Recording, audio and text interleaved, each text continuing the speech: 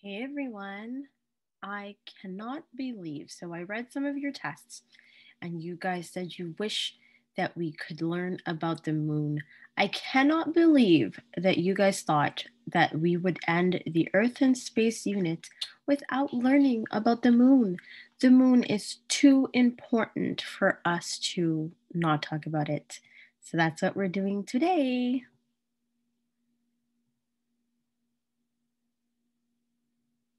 All right, so we're going to learn more about the moon. I know you guys have done some reading and you guys read on page 361 the number of satellites or the number of moons in each of the planets in our solar system. But now we're going to take a closer look at the one moon that the Earth has. All right, so Earth has just one moon. Unlike Jupiter, that has a lot, Earth has one moon. A rocky, cratered place, roughly a quarter of the size of Earth, and an average of 238, 855,000 miles away. So that's not close, although it looks close. That's pretty far. The moon can be seen with the naked eye most nights as it traces its 27 day orbit around our planet. So, what is meant by naked eye? We don't need any special tools such as a telescope to see it. We will be able to see it just like that in plain sight. So, I encourage you to actually visit this website to see more about the moon. Pretty interesting website, but I won't click on it right now. All right. So I also heard some of you guys talking about the moon and saying that the moon um, is a luminous object and it gives off light, but this is not true. The moon is not a source of light. The sun is a source of light and gives us light, right? But the moon does not give off light of its own. It seems luminous because it is reflecting the sun's light rays. So it looks like it's giving off light, but it's really reflecting the light from the sun. So this is the sun, this is the moon, and this is Earth, this is us. So it looks like it's lighting up, but it is reflecting the light from the sun. So I think by now you guys know why we started off this whole entire unit talking about light because light plays a very important role in the astronomical phenomena. So why does the moon look like its shape is changing? So despite us knowing that the moon is a spherical shape, when we look in the sky, we don't always see a perfect circular looking type of body. And why is this? Can anybody think about why? Well, of course, it has something to do with light again, right? All right, so the moon's appearance from Earth, it might look like the moon is changing shape each night from a tiny sliver to a half moon to a full moon and back again. What's actually happening is that from our spot on Earth, we see different parts of the moon lit up by the sun as the moon travels in its orbit. So, where did you hear this word orbit before? We were talking about how the planets orbit the sun and the solar system. So, it's the path that they travel on, right? And it's elliptical, right? Or sometimes to the naked eye, if we look at it, it looks almost um, circular, but it's elliptical. All right, so that's like a crushed oval, remember? A little squished oval, a squished circle, I should say. So again, here's this website that I'm encouraging you to click on and explore. So as the moon travels around the earth, different parts of it are lit up by the sun. So I'm just repeating that again. And you should look on page 73, 373, I should say. These changes in the moon's appearance from our view on earth are called moon phases. So again, this is what we see from earth. Okay, so when we are on earth, if we were somewhere else in outer space, you might see things differently, but we're talking about what it looks like from our view down here on Earth. So this graphic shows all eight moon phases we see as the moon makes a complete orbit of Earth about every four weeks. So what is a complete orbit? So that's when it makes one revolution around the Earth. So remember, in the solar system, the planets orbit the sun, right? So they go around the sun. But over here, we are talking about this one moon that we have that orbits Earth. So it talks about eight phases, but if we count here, how many do we have? One, two, three, four, five, six, seven, eight, nine.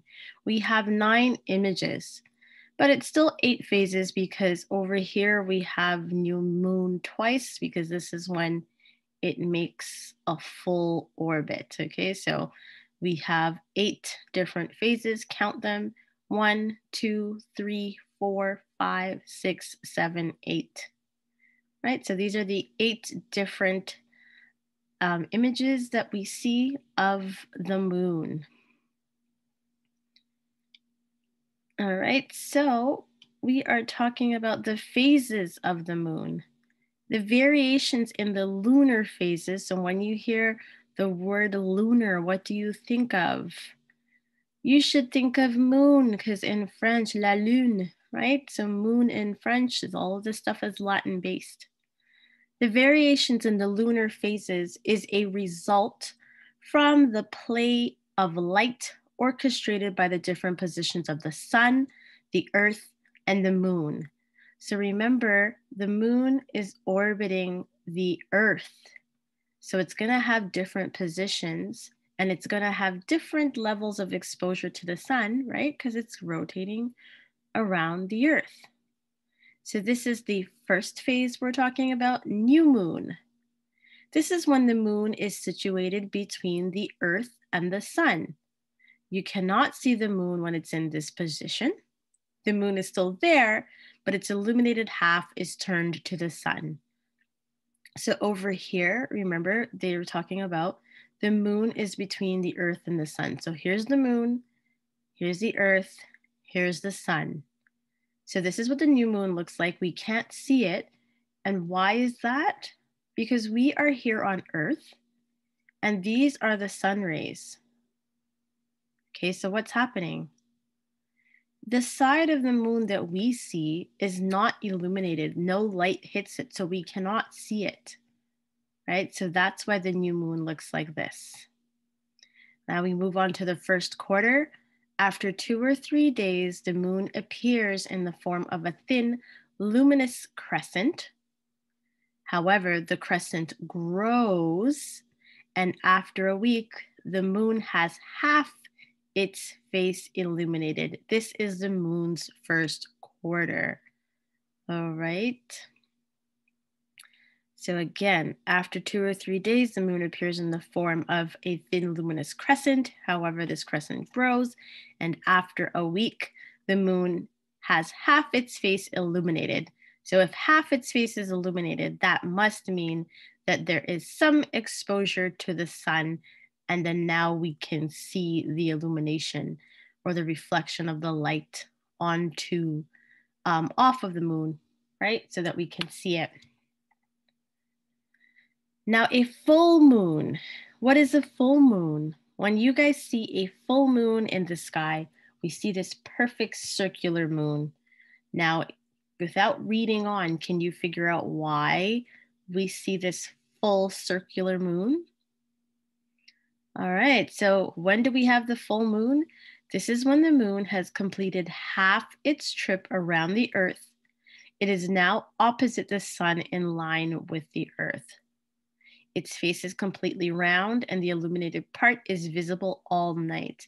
So remember when we looked at the new moon, it was over here, right? And we're on earth and we can't see it because its illuminated side is facing the sun.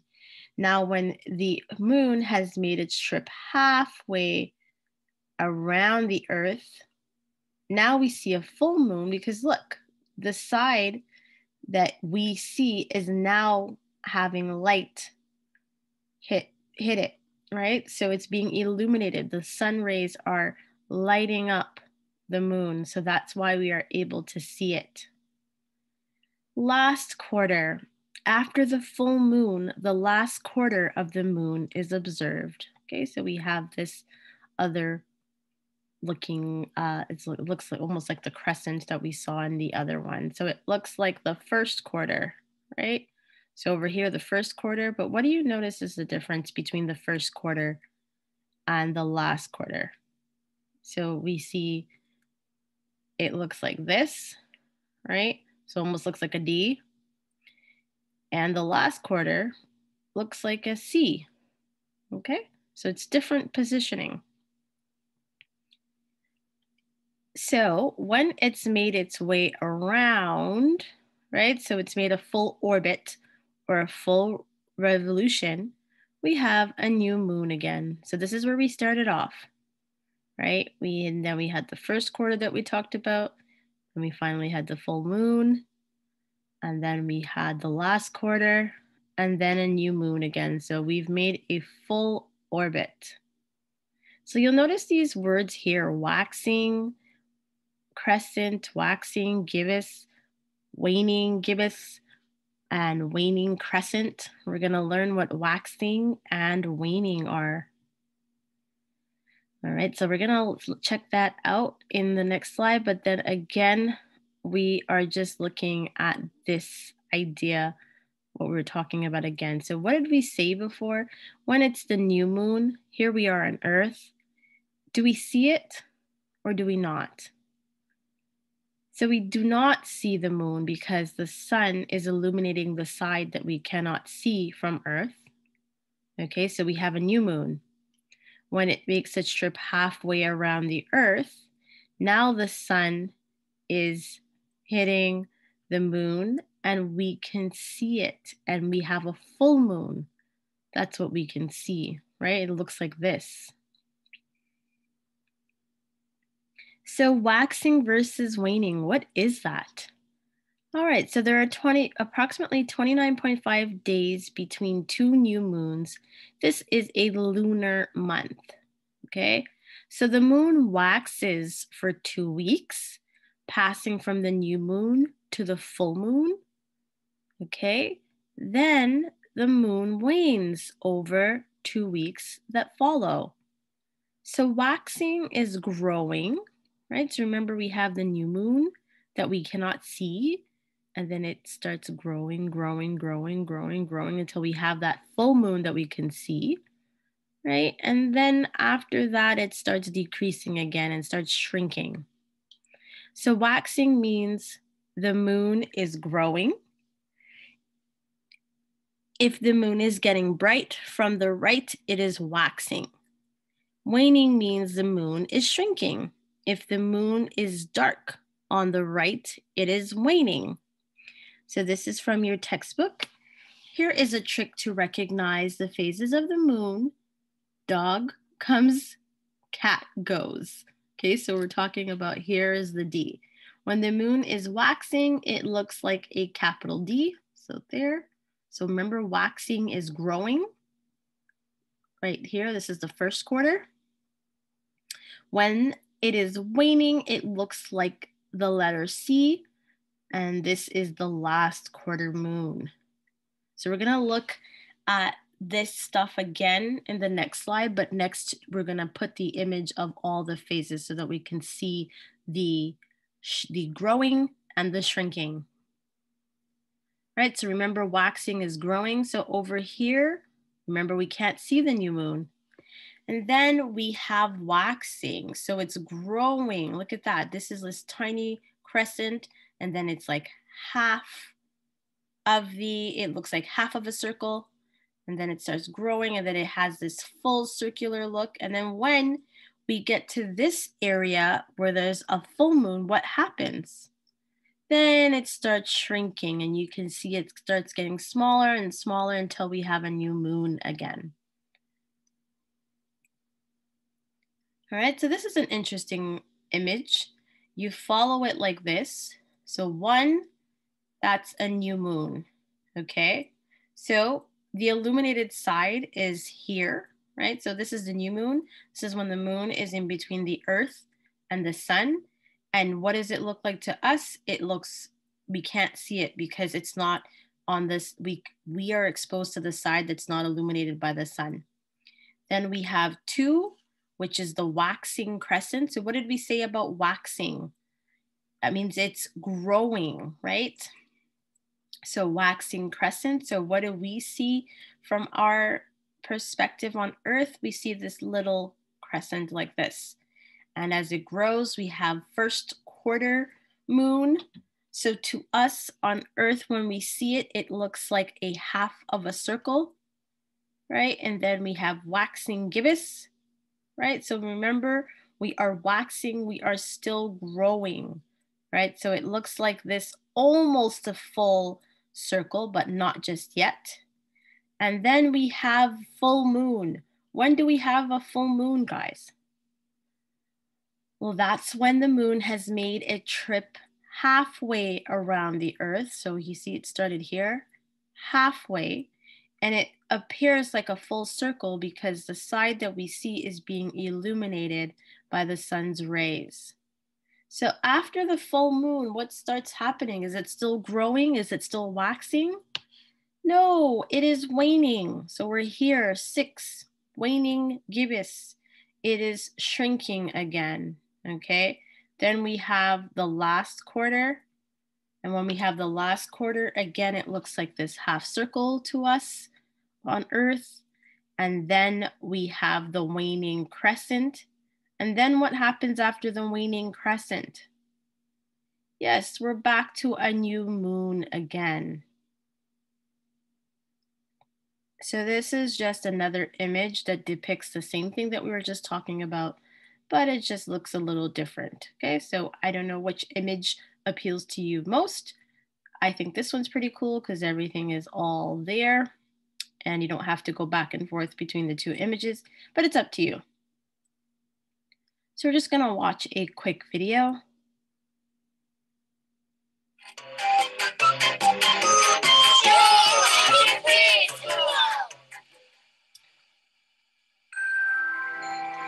It's the brightest and most noticeable object in the night sky. But if you spend much time observing it, you will see that the moon is never quite the same from one night to the next. The moon has something we call phases, which means that it appears to change shape a little bit every night. To understand why this happens, we need to talk a little bit about the way the Earth and the moon move together in space. The moon orbits around the Earth, much like the Earth orbits around the sun.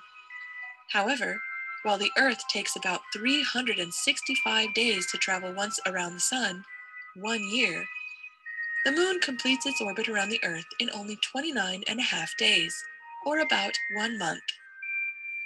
That's actually where the idea of months came from, the time it takes for the moon to complete one orbit around the Earth.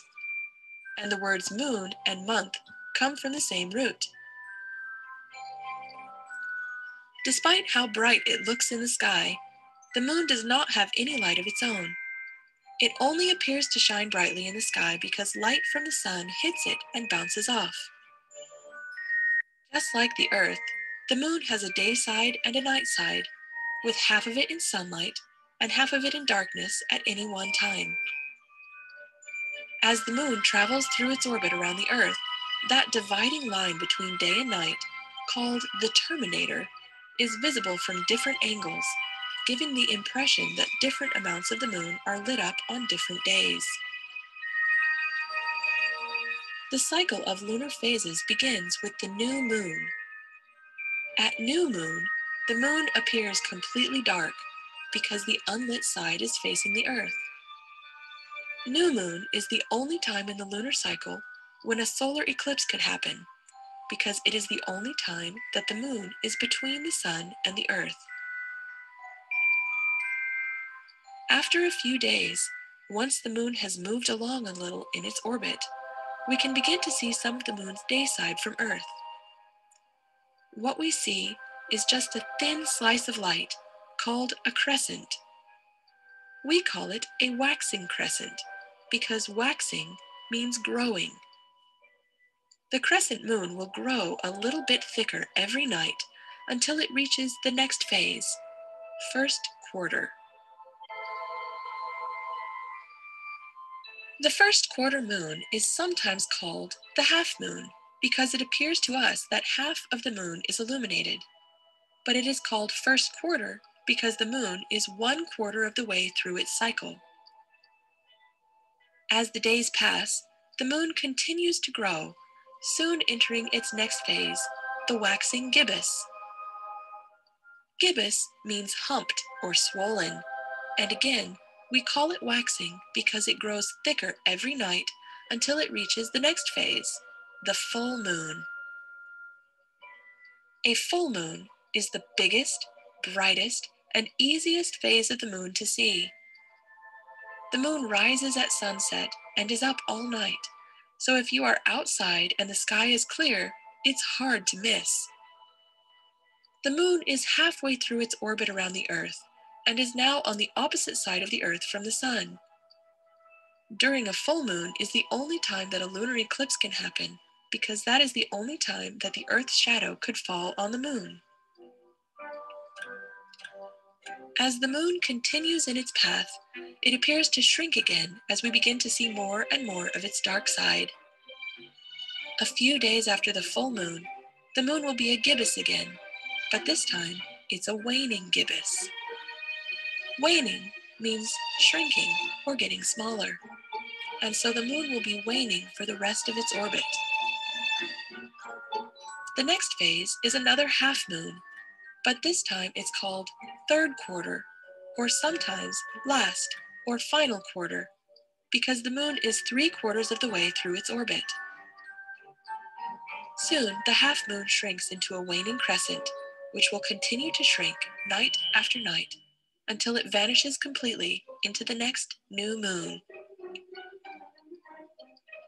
Big and bright and beautiful, different every night, but repeating the same cycle over and over. The moon is one of the best objects in the sky to observe, especially for someone just getting started. The next time you look up and see the moon in the sky, take a moment and see if you can identify which phase of the moon you're seeing and try to figure out which one will come next.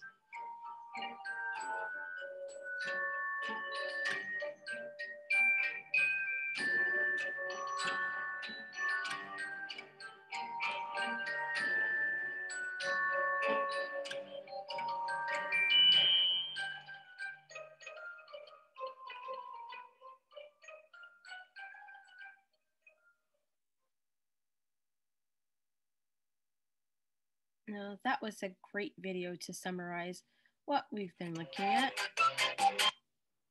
So now I would like you to read pages 372 to see 373. And that's where they discuss the moon and the phases of the moon.